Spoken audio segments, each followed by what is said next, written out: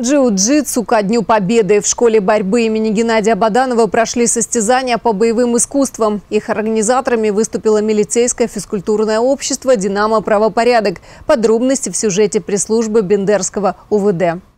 Данные соревнования посвящены великому празднику нашему общему. Это Великая Победа, Великой Отечественной войне 45 года. Э, Данную дату мы все должны помнить и чтить. Чтить великие подвиги, которые добились наши деды и прадеды.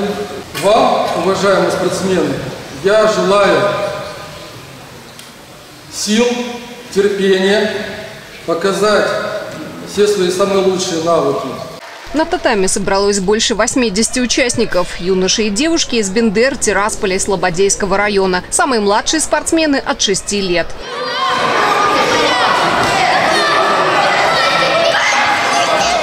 Такие первенства дают молодым спортсменам хорошую практику и мотивацию. Поединки с ударами, с борьбой, удушающие болевые. Ну, типа микс-файт, только в любительском виде для детей. Ученики должны проходить эту практику, чтобы они не проходили практику на улице где-то, а здесь с ребятами могли противостоять. Потому что когда занимается каждый в своем клубе, между собой, уже как-то друг друга зная, а приходят э, соревнования с разными ребятами из разных клубов. Потому что так участвуют в соревнованиях Бушенкан Джиу-Джитсу, Бендеры и Бушенкан Джиу-Джитсу Тирасполь, три команды. Также участвуют команды Карате Гадзирю, также с Бендер, две-три команды. И также с Тирасполя одна команда Гадзирю Карате.